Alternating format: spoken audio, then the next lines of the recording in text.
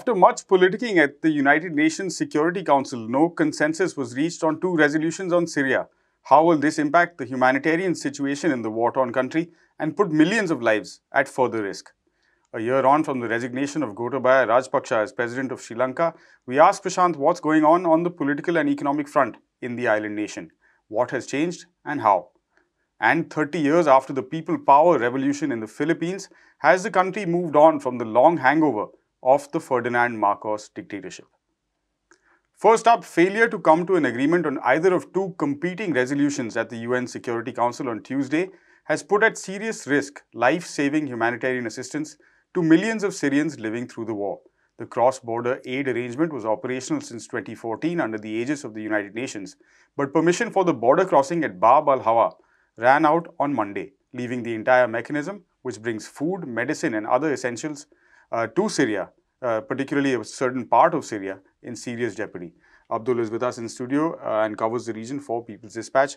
Uh, Abdul, tell us where exactly this aid was going, how many people are impacted by it, and uh, then we'll get to, of course, the politics behind why these resolutions, uh, this this sort of agreement hasn't been extended. Well, basically, north northern Syria, which is you can say the last hub of the anti-Bashar al-Assad forces, uh, particularly Idlib and the areas around it, which basically also has become much, the actual population was not that much, but because of the war for a decade, a large number of people have moved Been to that region. And so right. around 2.6 uh, uh, million people at this moment are dependent on it. There are the actual population is larger, right? But uh, at least the, as per the UN data, around 2.6 million uh, Syrians living in this region are dependent on the aid provided by the UN. Uh, uh, most of these pe uh, people, as I said before, are uh, those who are dependent on aid basically are from refugees from different yeah. other parts of Syria. Hmm. But there, the, the need of aid has increased recently primarily after the earthquake in February, hmm. which basically led to the uh, destruction of the houses, whatever houses uh, there were, there were mm. and a large number of people have been forced to live in tents. Mm. So everything uh, from the tent to the food and other things are provided by the United Nations and other aid agencies. Mm. so yeah, that is these are this is the primary uh, uh, subject which basically is impacted because of the not extension of the uh, cross-border aid mechanism. Right. Uh, so, so what happened at the Security Council? There were two uh, competing resolutions, like we were saying, one put up by Russia and the other by the Western powers. Uh, what, what, what were the sticking points, and and how come no consensus was reached, no middle ground was also found?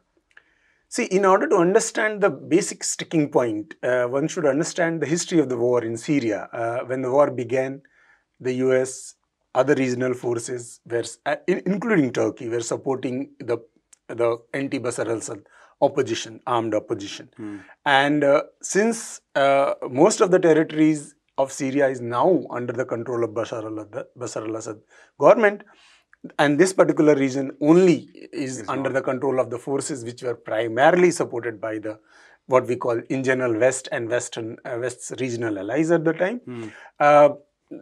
Uh, that then it becomes much more the, the politics behind it becomes very clear. Hmm. Syrian government is primarily trying to uh, push for reintegration of the region into the larger Syrian uh, uh Syria, and uh, uh, and for that it's basically saying that the cross, continuation of the cross-border aid mechanism it was necessary. It was the way it was implemented few years back now it is not uh, necessary given the fact that there is a, some kind of stability uh, has, uh, uh has been achieved.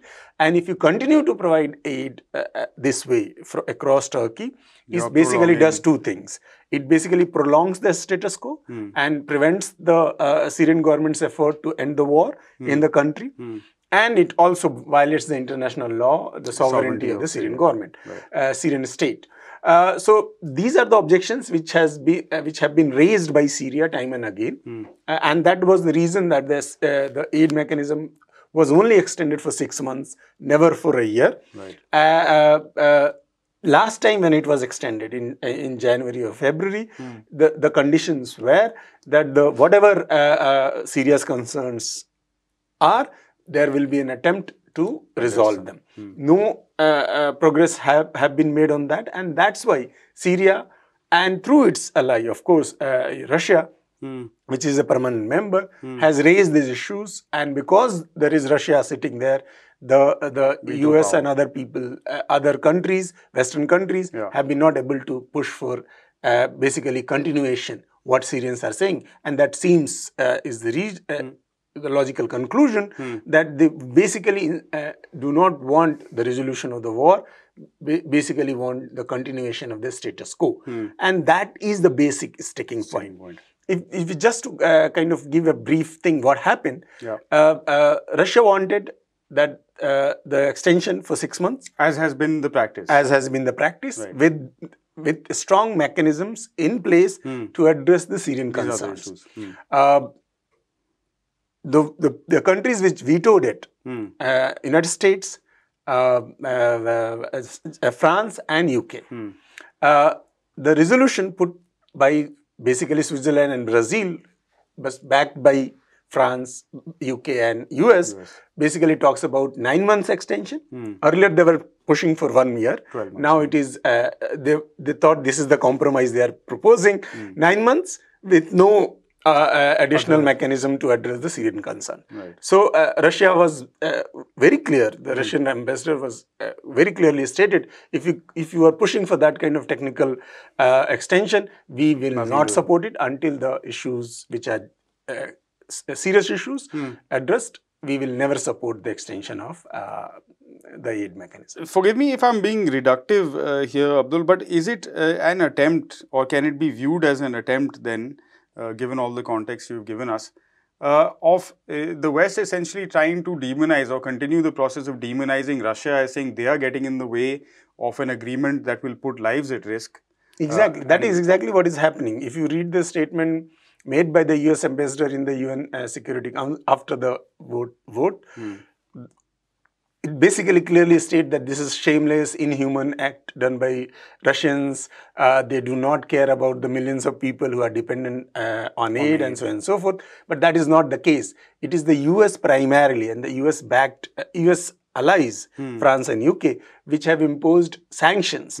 Syria is also saying that if you remove the sanctions o- on us, that is also address the humanitarian concern. Yeah, yeah. And we will be, and, and if you create a mechanism through, which basically dis, uh, creates possibility of cross uh, exchange of the aid with the rebel held held areas and the rest of the Syria, then we are ready uh, to extend it for next six months. They are not ready to do it. So the entire attempt is basically this particular attempt is to portray Russia as and Syria, of course, as Bashar al-Assad government uh, in Syria, as some as those who are basically inhuman. They are not concerned about humanity. They have been killing their people and so on and so forth. As has been the campaign, not uh, uh, uh, understanding the real concerns of the people and the real concern of the Syria at large. And of course, the friends in the media are doing their best Exactly. to help them build that narrative. Thanks very much for that uh, update, Abdul. A year ago, activists and citizens in Sri Lanka celebrated on the streets of the capital, Colombo, and across the country as President Gotabaya Rajapaksa put in his papers and resigned from the office. Uh, the powerful Rajapaksa family, though, is still very much in the political scene and have been rebuilding since those historic events a year ago. As the anniversary approached, Sri Lanka's Attorney General Sanjay Rajaratnam instructed the Inspector General of Police to name 34 suspects in the case regarding the attack on peaceful protesters at Galle Face. Mahinda Rajapaksa nor his eldest son Namal, who have been accused by the protest movement of instigating the mob against them, are not on that list. Prashant is in studio now to discuss the political and economic situation one year on from what is known as the June 9 uprising. Uh, Prashant, so there is the first question. What is the situation on the ground? Right, uh, Siddhant. If you look at the uh, if you look at Sri Lanka right now, I think uh, things are in a bit of a flux because, on the one hand, uh, the severe economic crisis which marked a lot of last year has slightly abated, Mm. and I think there's you know there are more things on the uh, supermarkets are no longer empty as was the case at one point of time. There may not be very long queues waiting for fuel. Supplies may have restored to some extent, but there is also a greater immiseration of the people that has taken place, which is actually a result of this long-lasting crisis. So Mhm. that's we'll come to the economic situation as well.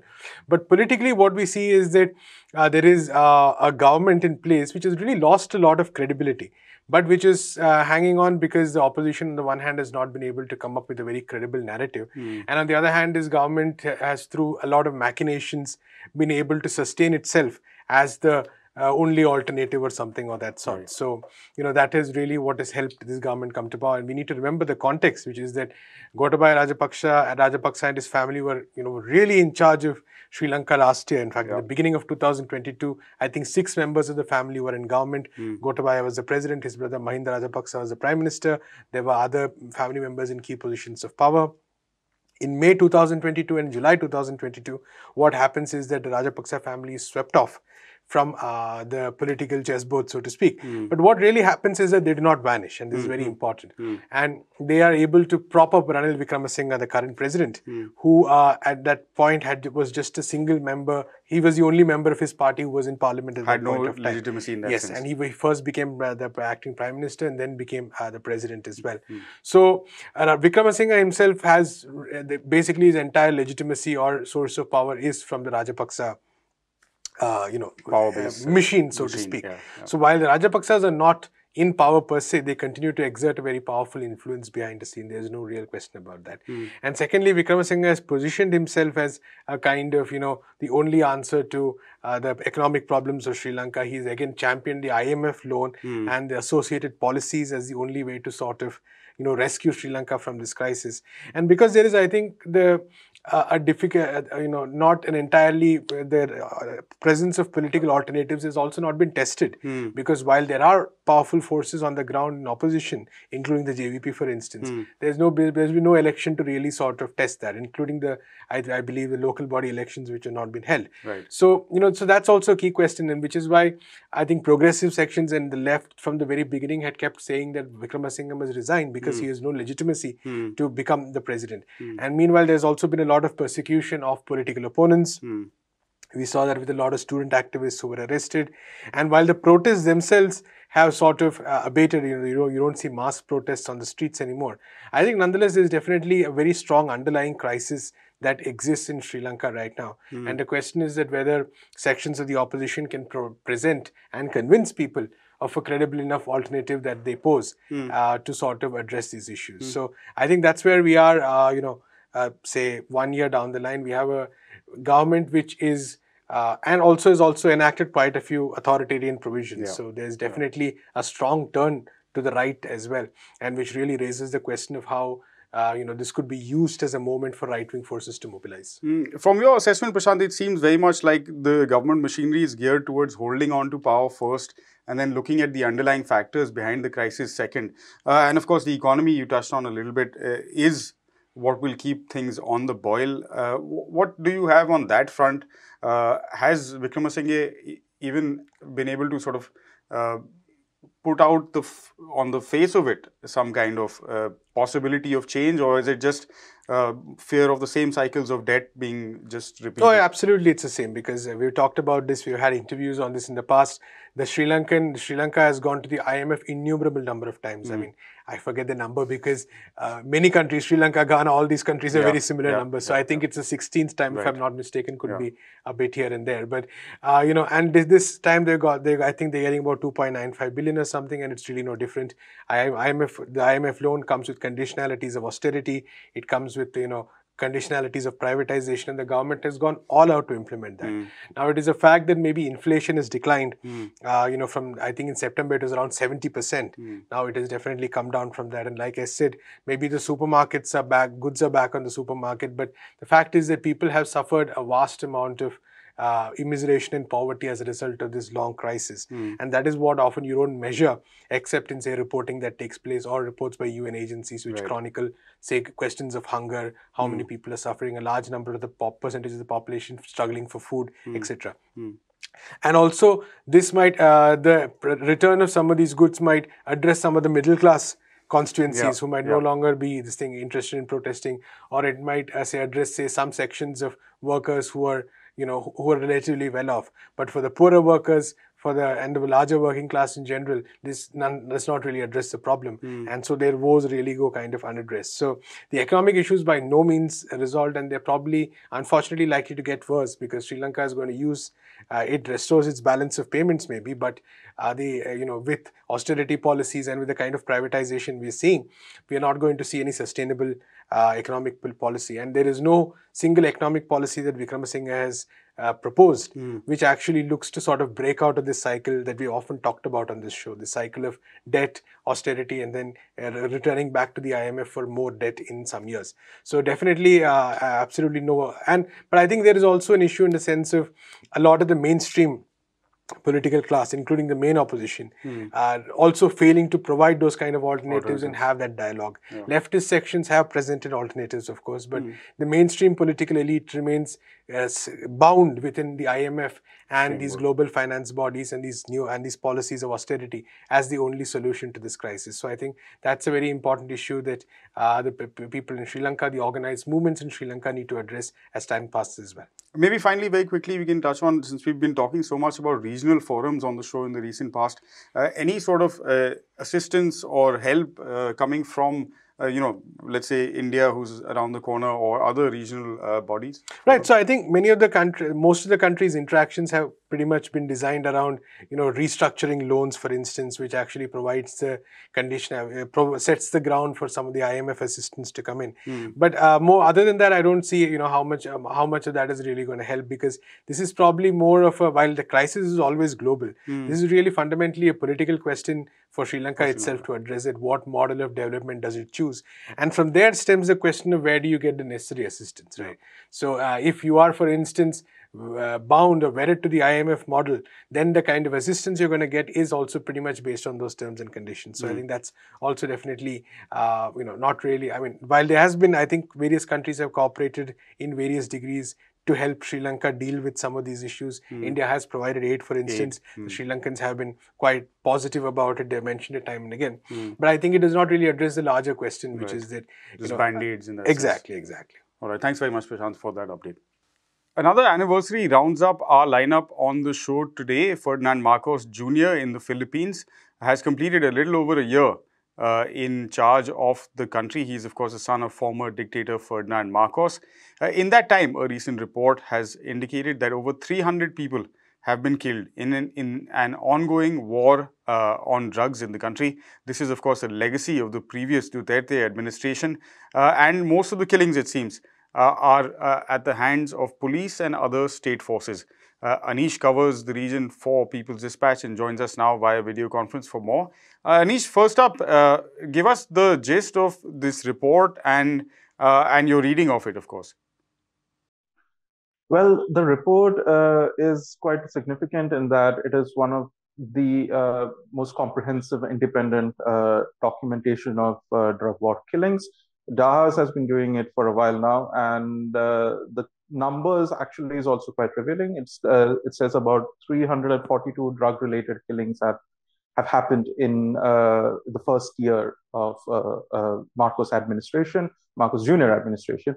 And uh, this is no different from uh, killings that happened under the Duterte administration, maybe slightly lesser, but it's not that significantly different.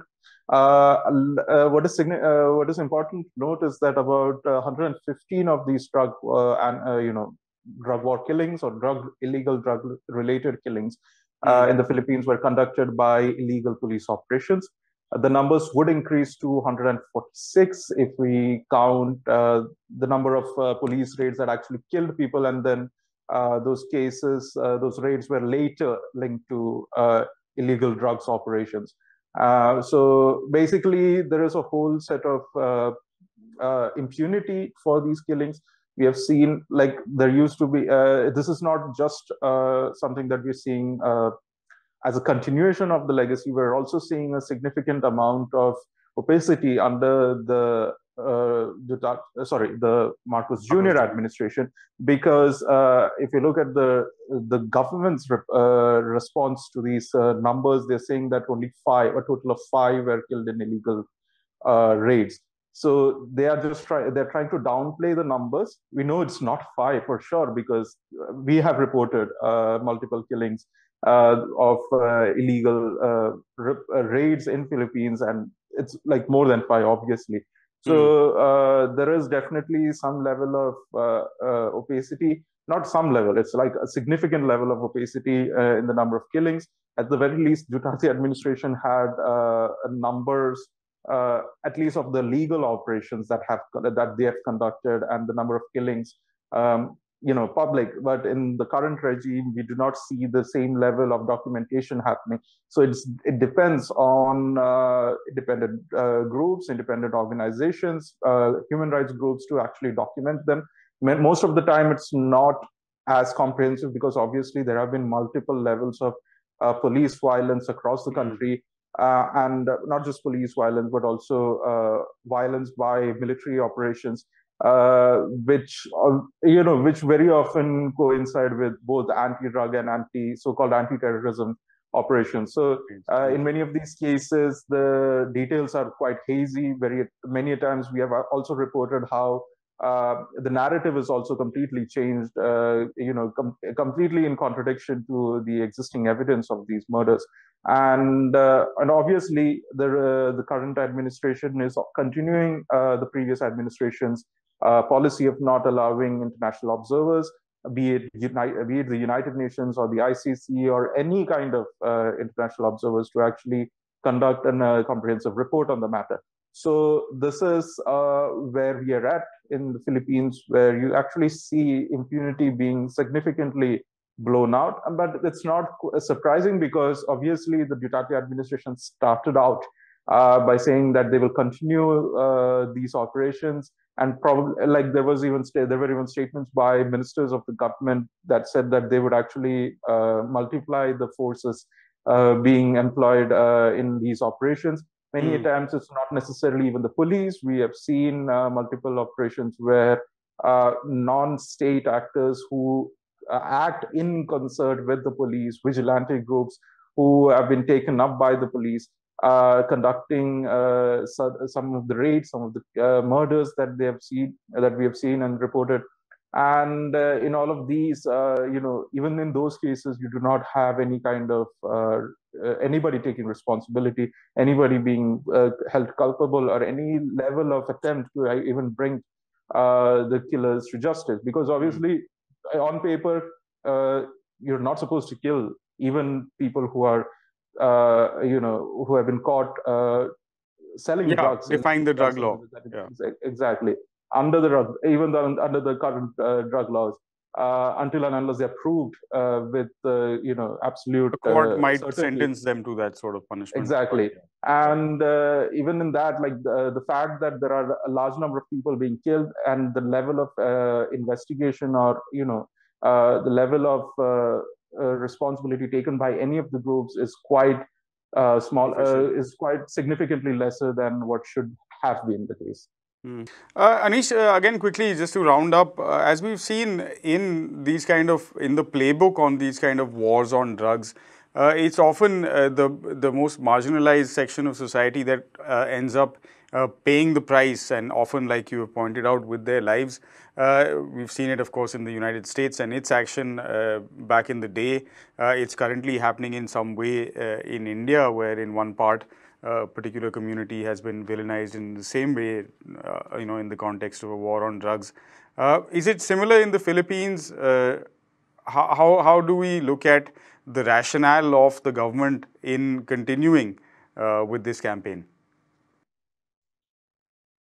Well, yeah, it is quite similar because uh, if you look at the the predecessor of this nationwide war on drugs, which was uh, what happened uh, kept happening in Davao uh, under both Duterte, uh, both Rodrigo Duterte and his family members who uh, held the mayorship of the city. they even had the Davao Killing Squad, which was basically a group of vigilante people hired by the state by the local administration to actually hunt, so, so supposedly hunt down uh, people who were peddling illegal drugs. Uh, it actually ended up killing a large number of people, hundreds, in fact, uh, no, thousands, in fact, uh, according to certain estimates. So this was a playbook, and most of it was uh, basically taken from uh, the U.S. war on drugs, and you know the kind of impunity that we're given you see all the narrative being played out. All of that is pretty much the same. There is very little difference on that matter. And very often, uh, apart from the fact that it is obviously affecting the most marginalized people, who uh, even uh, you know people who are suffering from addiction, who needs treatment rather than uh, you know being criminalized. Violence. Obviously, yeah. Uh, the uh, you also have civil society being affected by this violence and very often, uh, there are plenty of cases where uh, independent journalists, radio journalists, uh, uh, rights activists, even who have been advocating against the killings and who have been calling for uh, people to be brought to justice. Uh, many of them being targeted by vigilante groups in, in you know, killed in cold murder many times, uh, as we saw with the Percy Lapid killings, uh, we have reported it multiple times of, how uh, the police uh, administration, the uh, you know the jail, uh, the prison system, and obviously the drug lords yeah. are all working in cahoots to actually you know hunt down activists, journalists to expose uh, these crimes who actually bring uh, significant attention to it, mm. significant public attention to these matters. Mm. And uh, in this, obviously, the effect is something that is felt by pretty much every uh, levels of civil society, uh, even up to the government, uh, where it is matter of corruption. Obviously, the opacity uh, breeds corruption. It breeds uh, the kind of a nexus between, and very ironically, between the drug lords and the police administration and that is pretty much something that is not talked about and will never be talked about under you know the current dispensation. And uh, this is pretty much the uh, setup that we are looking at even. And it is continuing obviously it is continuing with the numbers that we are looking at at the point. All right. Thank you very much for that update uh, from the philippines. And with that we bring to a close this episode of daily debrief. As always we invite you to head to our website peoplesdispatch.org for more details on Anish's work as well as what are uh, others, other reporters file from around the world on stories that matter to uh, people like you and I. Uh, also, don't forget to follow us on the social media platform of your choice. We'll be back, of course, with another episode, same time, same place tomorrow. Until then, stay safe. Goodbye.